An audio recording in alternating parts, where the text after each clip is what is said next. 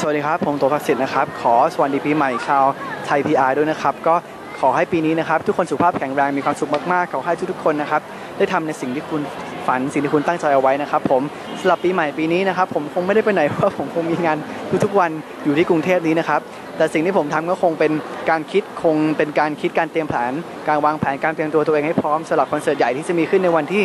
14 กุมภาพันธ์ผมยังไงชาวไทยพีอาร์ถ้าใครว่างถ้าใครยังว่างอยู่นะครับ ก็ ไปดูคอนเสิร์ตกันนะครับผมขอบคุณครับ